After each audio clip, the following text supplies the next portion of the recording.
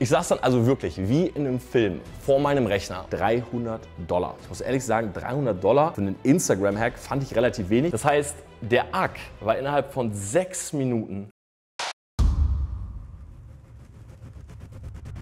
Kein Clickbait. Mein Account bzw. meine Accounts sind tatsächlich weg. Die Mail ist geändert, das Passwort ist geändert, ich habe keinen Zugriff.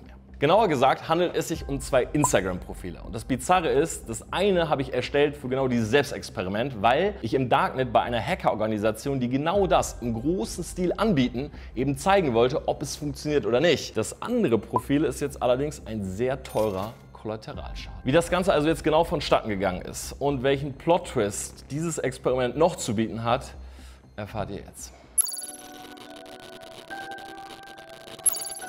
Okay Leute, eigentlich sollte diese Woche ein anderes Video kommen, nämlich zum Thema Krypto-Trading-Signale von YouTubern. Die haben wir jetzt ein paar Wochen getestet und wollten einfach mal zeigen, können die was oder können die nichts. Aber dieses Video ist jetzt tatsächlich relativ spontan dazwischen gekommen. Vor zwei Wochen haben wir nämlich ein Video gemacht zum Thema Darknet und Hacker Guides. Die haben wir dort runtergeladen bzw. uns gekauft und dann innerhalb von 24 Stunden probiert, selber hacken zu lernen. Beziehungsweise ein Zweit-Handy von Chris wollten wir hacken mit diesen ganzen Tools. Ein paar von euch haben in die Kommentare geschrieben, dass wir uns damit schon strafbar gemacht hätten, weil wir haben die gekauft, runtergeladen und im Endeffekt benutzt. Und da habe ich den lieben Rechtsanwalt Christian Solmecke mal gefragt, ist das so? Können wir da vielleicht irgendwie noch an den Pranger gestellt werden für? Und das ist an dieser Stelle seine Antwort. Wenn ich mir How-to-Hack-Anleitungen aus dem Dark Web runterlade, dann ist das noch nicht strafbar. Denn selbst wenn das Hacken eines Handys strafbar ist, dann ist das Kaufen der Anleitung dazu noch kein Versuch dieser Tat. Der Versuch, der beginnt erst, wenn ich anfange, mich an dem Handy zu schaffen zu machen. Ihr habt es gehört, da es sich in dem Fall um unser eigenes Handy handelt, ist es kein Problem. Möchte aber an dieser Stelle auch nochmal darauf hinweisen, wenn ihr das jetzt bei Freunden macht und selbst wenn es irgendwie ein Prank ist oder ein Scherz oder so, ja, gerade mit dieser dritten Methode, wo da irgendwie so die Selfie-Cam angeht, macht ihr euch tatsächlich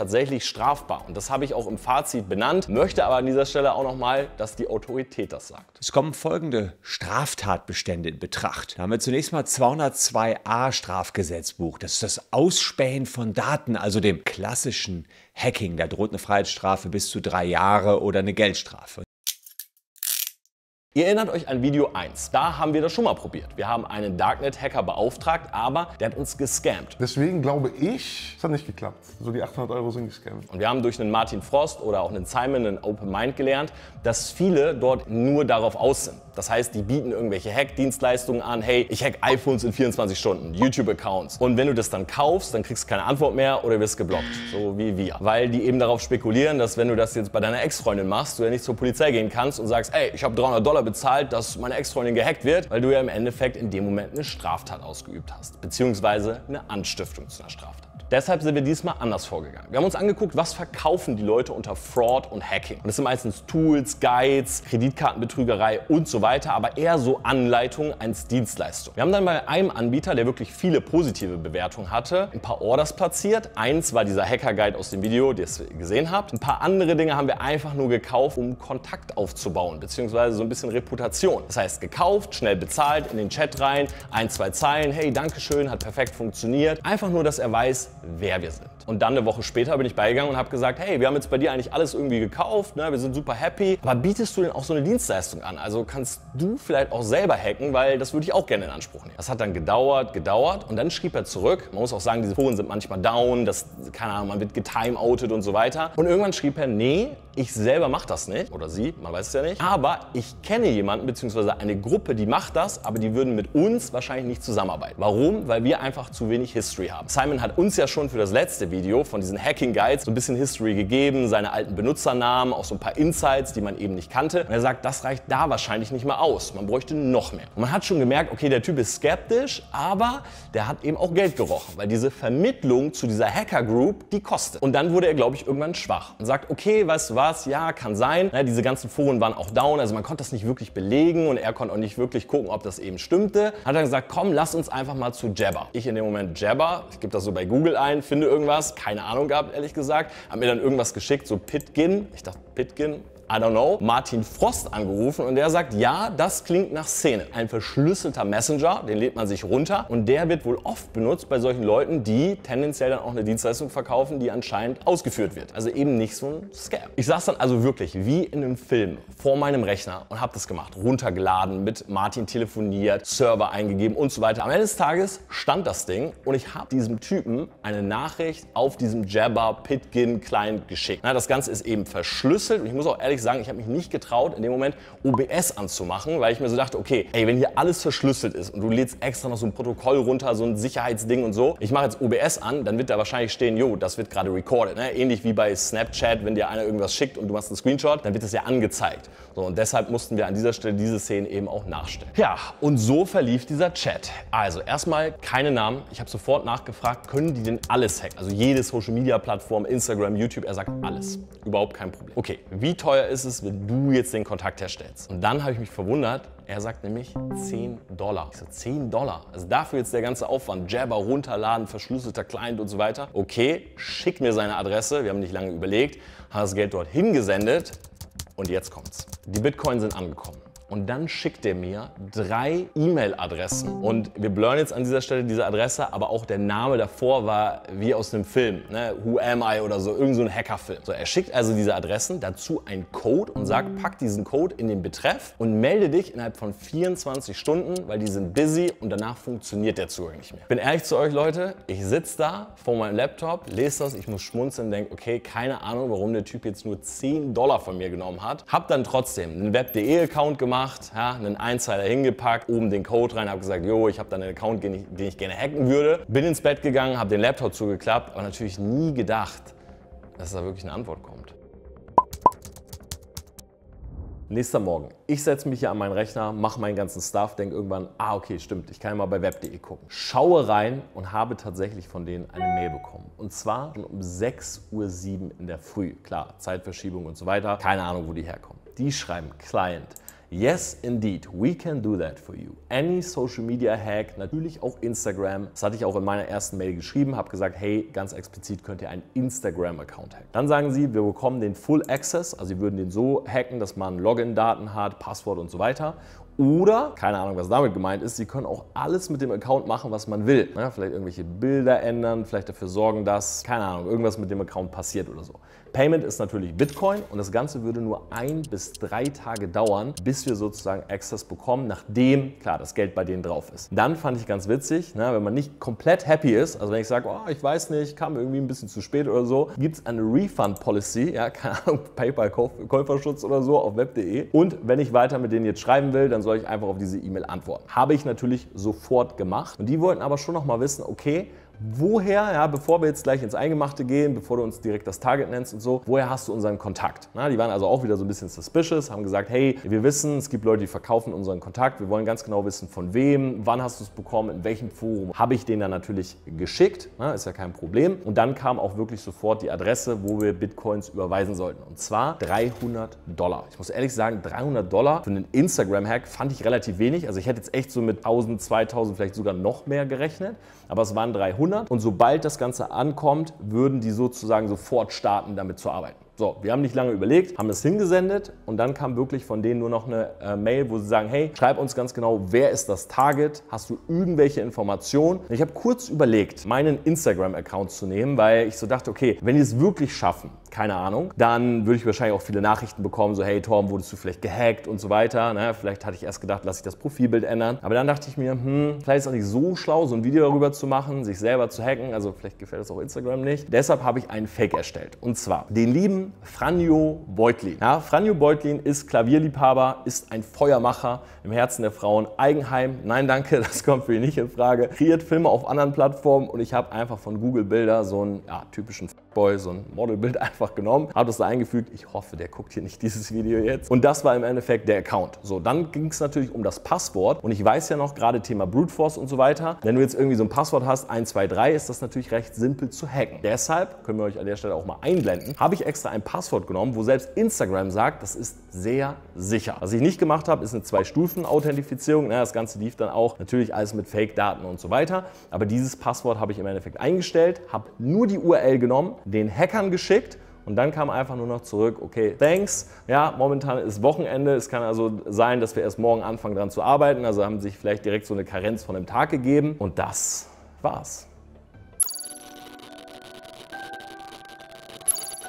Okay, zwei Wochen sind seitdem vergangen. Und bevor ich euch jetzt gleich das Ergebnis zeige, nochmal ganz kurz an dieser Stelle etwas zum Rechtlichen. Schauen wir also mal, ob wir uns hier wirklich strafbar gemacht haben, denn tatsächlich ist relativ eindeutig, wie hier vorgegangen wurde. Ja, wenn ich meine eigenen Profile hacke, dann kommt es darauf an, wie der Hack genau funktioniert. Wenn man nur irgendwie das Passwort errät und dazu technische Hilfsmittel verwendet und nicht auf irgendwelche zugangsgesicherten Daten von Meta oder Google zugreift, dann ist das straflos, denn dann werden nur die Daten des Social Media Profils zugegriffen und ja, man hat dazu eine rechtfertigende Einwilligung. Anders wäre es allerdings, wenn man auf das Betriebssystem von Meta oder Google zugreift. Hier kommen je nach technischem Vorgehen wieder die ganzen Hacking-Strafnormen in Betracht. So, jetzt aber zum Mailverlauf. Also, am 21. schrieben die Hacker, sie wollten nochmal Informationen haben, was sie denn genau machen sollen. Ich habe dann irgendwie so überlegt, vielleicht ist es cool, wenn die das Profilbild ändern, weil dann könnte man so aktualisieren, auch für dieses Video. Da ist ja irgendwie so ein Profilbild von einem Clown oder sowas und dann wüsste man, okay, der Arc ist gehackt. So, daraufhin schrieben sie mir aber am 22., dass das komplett unsinnig sei und ich das ja selber machen könne, wenn sie das PW ändern. Ich muss ehrlich sagen, das hat mich ein bisschen verwirrt, weil vorher hatten sie ja genau das angeboten. Sie haben gesagt, entweder machen wir was mit dem Arc oder wir hacken den, dass du sozusagen den Zugriff hast. Ich habe dann trotzdem relativ simpel geantwortet, weil ich wollte nicht noch mehr irgendwie Diskussion, meinte, okay, ey, ihr habt recht,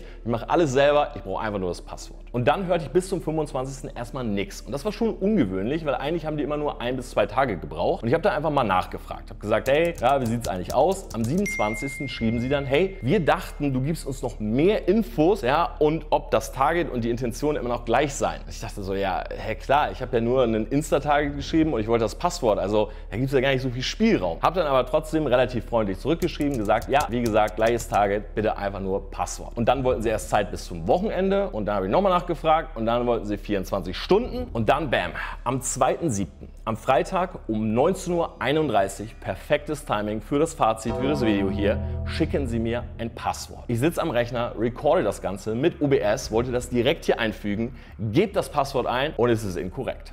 Und ich habe innerhalb von zwei Minuten zurückgeschrieben, meinte so, hä, äh, das Passwort geht nicht. Bin dann in den Account rein, habe geguckt, ist irgendwas passiert, keine Attempts. Wir hatten auch nur einen einzigen Follow, also ein Dude, der uns wirklich da gefolgt ist. Das Passwort funktionierte nicht und augenscheinlich hatten die auch gar nichts gemacht. So, daraufhin schrieben die dann, hey, hast du denn auch einen VPN benutzt? Keine Ahnung, wofür ein VPN. Und sagten mir dann sogar noch, sie wollten mich nicht blamen, ja, aber wollten einfach nur mal nachhaken. Ja, und das war der Moment, wo wir ehrlich gesagt gar nichts mehr gecheckt haben. Ich meine, die hatten unsere 300 Dollar. Die haben nicht nach mehr Geld gefragt, aber trotzdem war das alles irgendwie nur, ja, weiß ich nicht, Zeitschinderei. Ja, irgendwelche sinnlosen Chats, Passwort ist falsch, sie haben augenscheinlich nichts gemacht. Wofür das Ganze? Also warum uns sozusagen hinhalten? Ich habe dann den lieben Morpheus gefragt, Grüße gehen raus, der ist gerade im Urlaub und der hat mir ein Video aufgenommen. Gibt es eine Möglichkeit, dass sie mir echt ein PW schicken, ohne dass ich das als Owner sozusagen mitbekomme?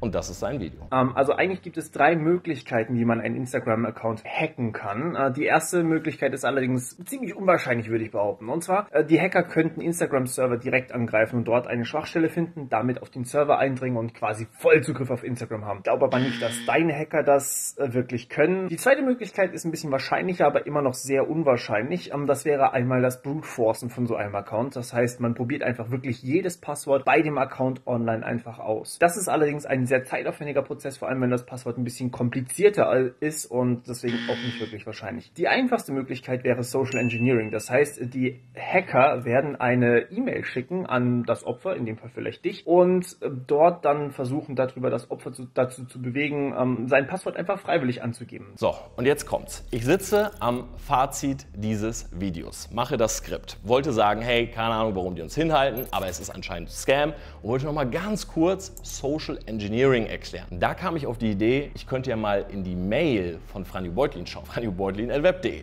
Bin also einfach mal reingegangen und habe tatsächlich eine Phishing-Mail da drin. Ich klicke also drauf, super obvious. Ja, es ging dann irgendwie um einen Account, der gemeldet wurde und ich musste wieder herstellen, bla bla bla. Ich gebe also diese ganzen Daten ein, natürlich schon ein komisches Gefühl dabei, weil ich weiß ja, was jetzt gleich passiert. Ja, Passwort sagt er beim ersten Mal immer incorrect. Das haben die übrigens extra so gebaut. Ich habe es nämlich mehrere Male probiert, weil die sicherstellen wollen, dass man auch das Richtige eingibt. Schicke ab, ja, keine Zwei-Stufen-Authentifizierung und er sagt, ey, bloß nichts ändern, jetzt bist du wirklich im Prozess. Und ich weiß genau, was was ihr jetzt denkt. Weil wir haben genau das gleiche gedacht und haben einfach nur gewartet, dass die Hacker sich wieder melden. Nur diese Mail, die ist bis heute nicht da. Das heißt, der Ack war innerhalb von sechs Minuten weg. Türkei hat sich eingeloggt, E-Mail-Adresse geändert, aber keine Ahnung, wer dahinter steckt. Sind es jetzt die Hacker, die irgendwann auch auf mich zukommen und sagen, ja, wir haben jetzt das Passwort, vielleicht schicken sie sogar einen Screenshot oder so, dass sie im Ack sind und wollen mehr Geld?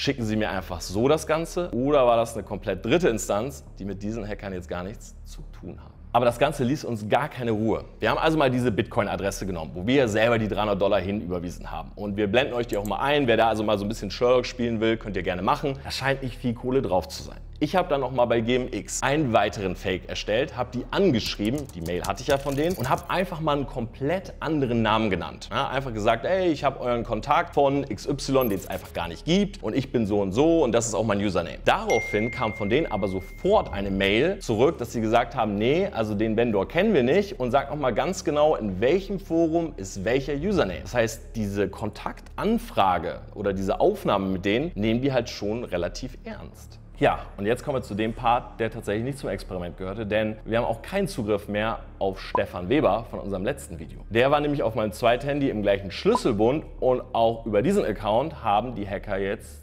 den Zugriff. Auch da bekam ich nämlich eine Mail und ich weiß nicht, ob ihr das schon mal selber hattet, aber Instagram schickt dann sowas, hey, wurde geändert. Ja, ihr seht auch in welche Mail und dann kannst du da drauf drücken und sozusagen den Axe securen. Habe ich gemacht, aber dann kommt eben, Seite kann nicht angezeigt werden. Das heißt tatsächlich, haben wir jetzt keine Möglichkeit mehr, Ranjo Beutlin und Stefan Weber zurückzubekommen, außer man macht das irgendwie über Instagram jetzt.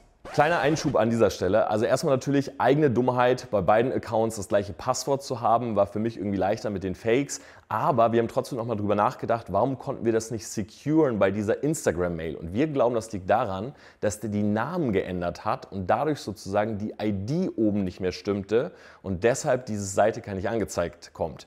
Keine Ahnung, ob das stimmt, aber das wäre auf jeden Fall ja, eine leichte Möglichkeit, tatsächlich Leuten Accounts sofort zu klauen. Ja, das war's an dieser Stelle mit dem Video. Schreibt gerne in die Kommentare, was ihr darüber denkt. Ich muss ehrlich sagen, Plot Twist, es hat mich alles so sehr verwirrt. Ich kann nicht sagen, ist das Ganze jetzt ein gut gemachter Scam, also den die echt ernst nehmen, auch mit diesen 10 Dollar und so. Kommt noch irgendwas? Ich werde auf jeden Fall ein Update geben. Ihr könnt mir gerne auch bei Twitch folgen. Sehr wahrscheinlich werde ich heute Abend auch noch ein bisschen live sein und darüber sprechen, weil dieser ganze Case, ey, der ist jetzt seit zwei Wochen irgendwie in unserem Kopf. Ich hoffe trotzdem, das Video hat euch gefallen. Lasst gerne ein Like da, abonniert diesen Kanal. Jeden Sonntag 18 Uhr gibt es hier weitere spannende Experimente und ich hoffe, dass ich jetzt nicht jedes Mal äh, irgendwelche Accounts dafür verliere.